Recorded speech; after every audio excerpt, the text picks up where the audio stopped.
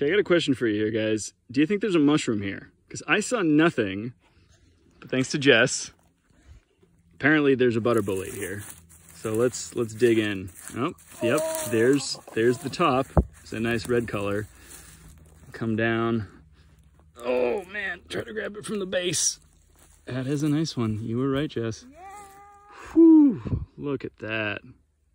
That is so, so pretty.